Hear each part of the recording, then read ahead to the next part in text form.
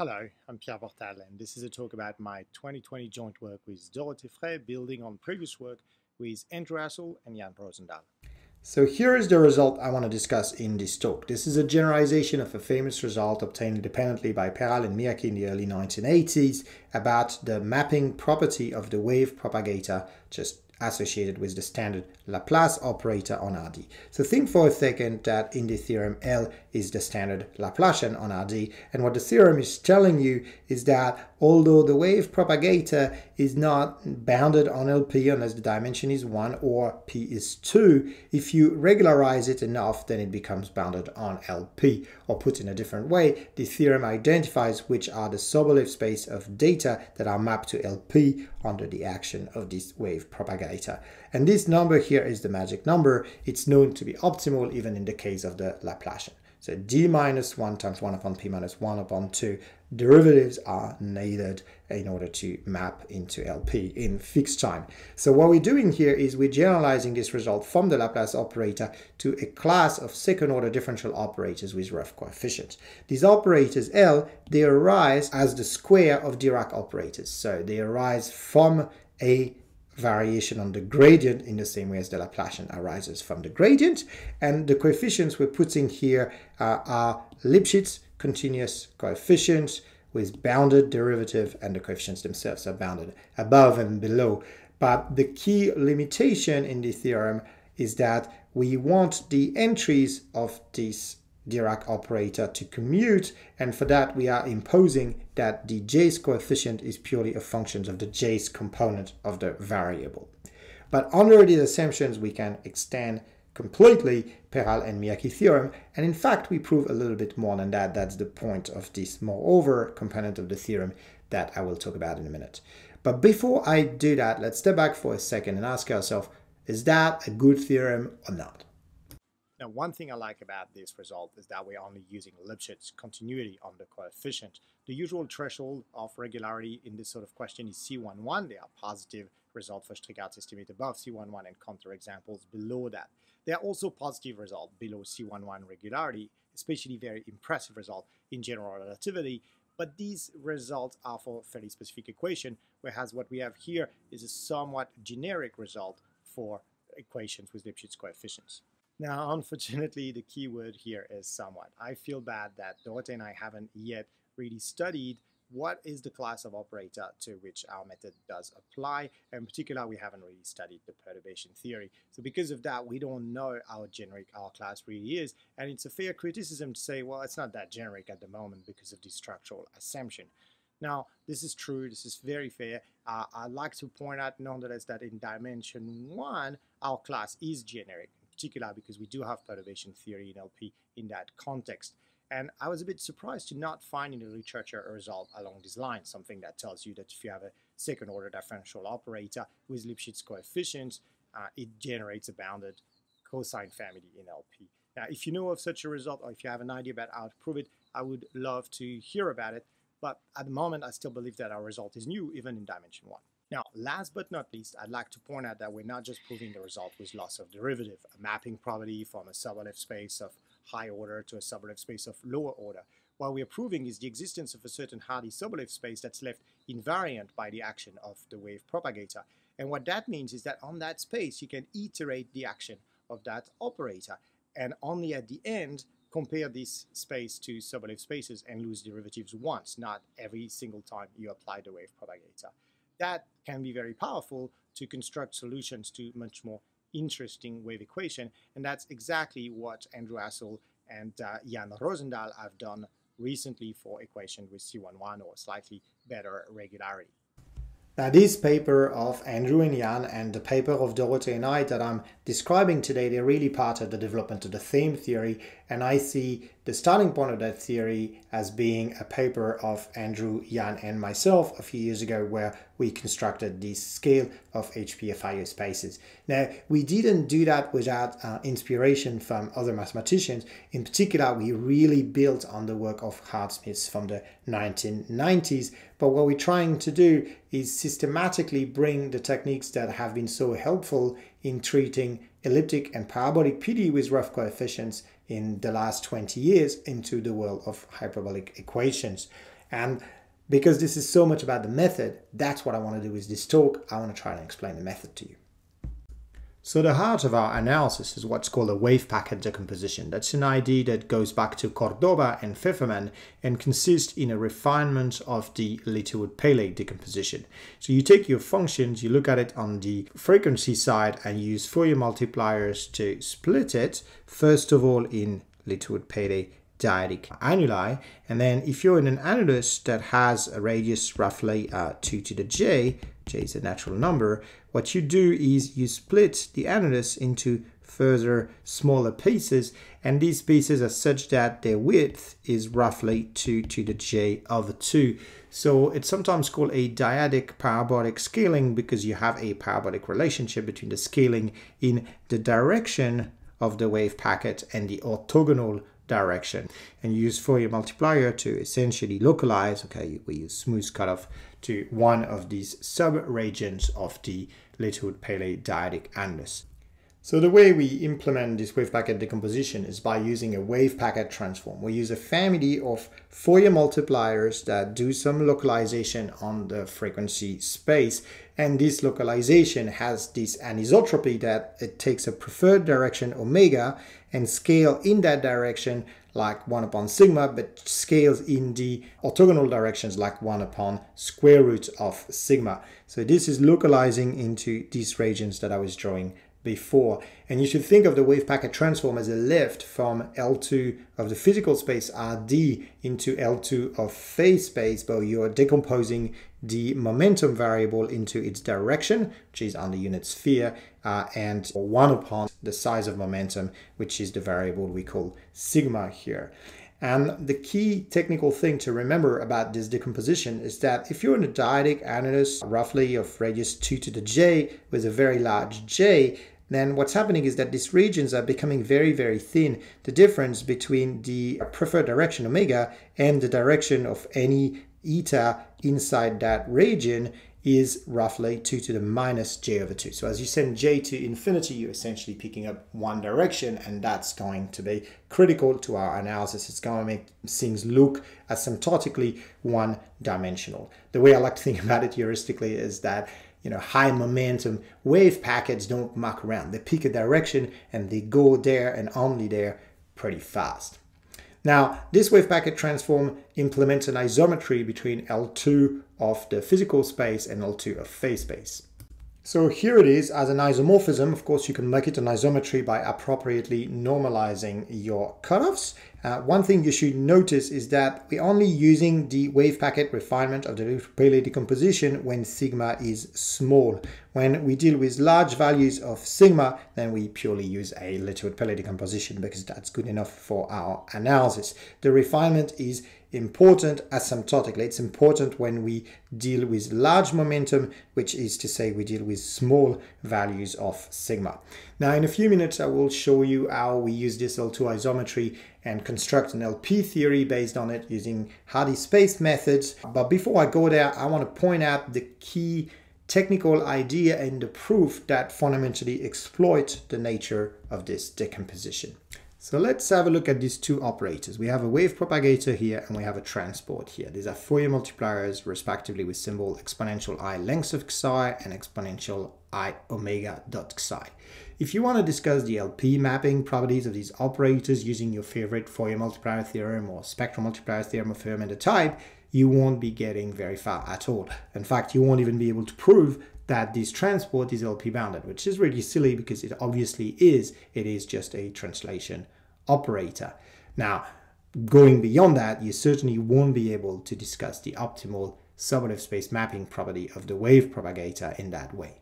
However, and that's where the miracle is, when you look at the difference between the two, and you restrict your attention to the support of a wave packet, then a Fourier multiplier will be able to describe quite properly the LP mapping properties of this operator. So if you restrict that to the support of a wave packet, and let me remind you that this support is such that if this is non-zero, then omega dot psi is roughly 1 upon sigma, and nu dot psi is smaller than 1 upon square root of sigma when nu is orthogonal to omega. uh, let's have a look at the Fourier multipliers with these symbols and let's try to prove that they are LP bounded uniformly in sigma and omega. So maybe just to simplify, let's take omega equal E1 for now. It all works the same for uh, other directions. And if I take psi 1 and I differentiate m sigma omega in that direction and I take the supremum over all non-zero psi, this is the quantity I need to control to apply my Hörmander multiplier theorem. And um, what I'm going to get from that by a little bit of computation is that what I really need to be able to control is the supremum of psi 1 times psi divided by psi 1 minus 1 in the region where psi 1 is roughly 1 upon sigma and psi j is smaller than 1 upon square root of sigma when j is above 1. And now I'll let you do that exercise. You can find that this is uniformly bounded, uniformly in sigma. So this allows you to apply a multiplier theorems and prove uniform boundedness of the Fourier multipliers with this symbol in LP for all P in the reflexive range uniformly in sigma and in omega. And that is a critical aspect of our proof. So asymptotically in the regimes where sigma is very close to zero once we implement the wave packet transform in an appropriate unconditional lp way we essentially won't see the difference between a wave propagation and a transport in the direction of the wave packet. This is done here with Fourier multipliers in the simplest case where my operators don't have coefficients but appropriate functional calculus technique will allow you to move that into the realm of operators that do have uh, non-trivial and in fact rough Lipschitz continuous coefficient. The point really is that the way we prove the boundedness of that in LP is not using any advanced Fourier integral operator theory. It's using basic Fourier multiplier theorem because on the support of the wave packet transform, these two symbols are close enough to each other. So to finish, I'd like to very briefly show you some of the other ideas that appear in the paper. Now, the first one is using transference of groups of operators to move from the Fourier multipliers to the operators that we need to analyze with non-constant but Lipschitz continuous coefficients. So the first point is that you can study an ordinary differential equation or a system of such equations involving the AJ's coefficient and from that you will get that the Dirac operator dA generates a bounded group of composition operators on LP for OP with finite speed of propagation. You have an explicit expression of that as a composition operator. Now we need to know more about this transport group and the first thing we have which is extremely helpful for the L2 analysis is that in L2 it is similar to the classical translation group. We get that out of the Stone-von Neumann theorem by explicitly constructing a position operator adapted to this non-standard momentum operator and then applying the Stone-von Neumann theorem to get that similarity. So in L2 that allows us to transfer all sort of results about this kind of Fourier multipliers to the transport group that we are interested in. This is all good and well in L2, but what do you do in LP? Well, LP is a perfect example of what we call a UMD Banach space. And on that Banach space, we have a bounded group. So there is a functional calculus for the generator of that group uh, using a Fourier transform type formula, which is called the Phillips functional calculus. And what the Coifman-Weiss transference principle tells us is that you can estimate norms of operators in that functional calculus using a Fourier multiplier, but extending this Fourier multiplier as an operator acting on LQ of RD with value in your Banach space X.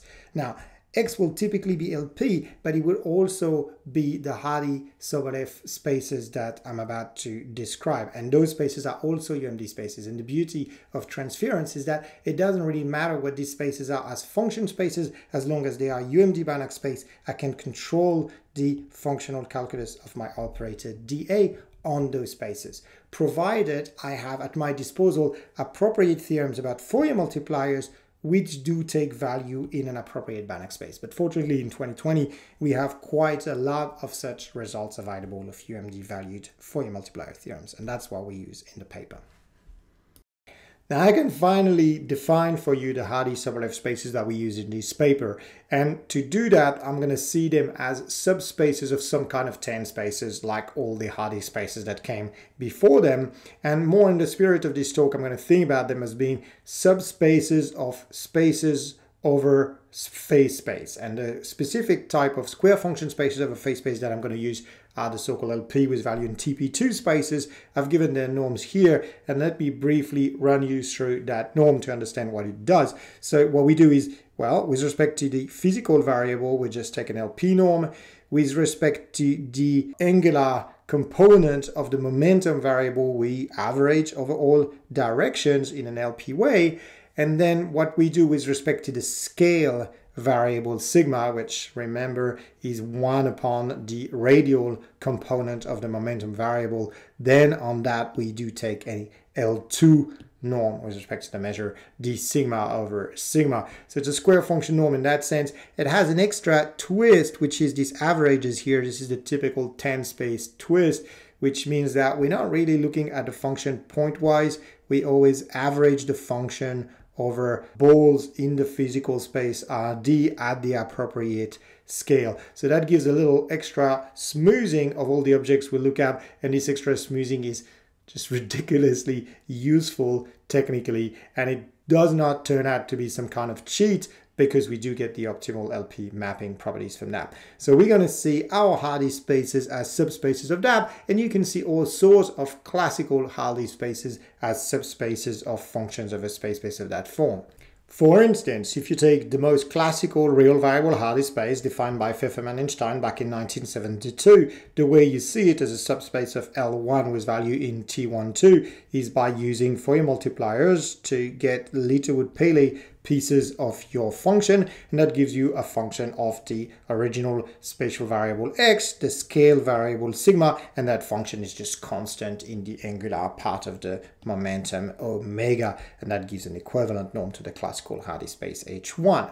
So now to get our Hardy Sobolev FIO spaces associated with DA, we have to do two things. First of all, we are not using Fourier multipliers. We're using the Phillips functional calculus of the transport group. So here, all our cutoffs are defined in terms of this functional calculus instead of being defined in terms of Fourier multipliers. Secondly, to get Hardy Sobolev FIO spaces as opposed to not FIO spaces, we follow the wave packet transform philosophy. So when sigma is large, that is to say when we deal with low values of the radial part of the momentum, then we just use a Littlewood-Paley type decomposition. But when sigma is close to zero, we refine that in the wave packet transform way. So using wave packet transform here, and this is now dependent on omega, and we're going to average over all those omega. And then that gives you HP FIOA if you want, and if you want HPS FIOA, so you want a regularity parameter S and Hardy Sobolev spaces as opposed to just Hardy spaces, all you have to do is add some weights to this part that correspond to the, the interesting values of the scale variable. And that gives you the appropriate scale of spaces. Now the question is, how do I prove everything I need to prove on these spaces? So we need to prove that the transport group is a bounded group on these spaces and we need to prove that the resolvent of the operator L map these spaces in the right way, so just change the regularity parameter, and we need to show that you can swap the transport group and the wave propagator thanks to a Fourier multiplier argument and the, the transference property for the, the transport group. So all of that is based on key properties of the functional calculus of dA that are similar to heat kernel estimates. So here they are. These are the appropriate analog of heat kernel estimate that allow you to do on these Hardy FIOA spaces all of the things that I mentioned earlier. Now, I'd like you to take away two messages about these decay estimates. First of all, there is some numerology here in the way they scale, and that numerology drives this optimal value of the regularization parameter d minus 1 times 1 upon p minus 1 upon 2 at the end of the day. So this numerology really comes from the nature of the wave packets. Now, second of all, the decay is not in terms of the standard Euclidean distance on RD, it's in terms of this potentially strange looking anisotropic distance adapted to the direction omega. Now this distance itself comes from a distance on cosphere bundle on RD cross SD minus 1 that capture the contact geometry on that cosphere bundle. So there's really a geometric idea in the use of this metric that allows us to bring ideas from the parabolic world into the hyperbolic world. We do not have standard heat kernel type decay estimates that could be helpful here because we're not dealing with a diffusion problem, we're dealing with a wave equation problem. But we do have parabolic type decay estimates if we look at the problem in the appropriate geometry on phase space. And I'm going to stop here. Many thanks for your attention.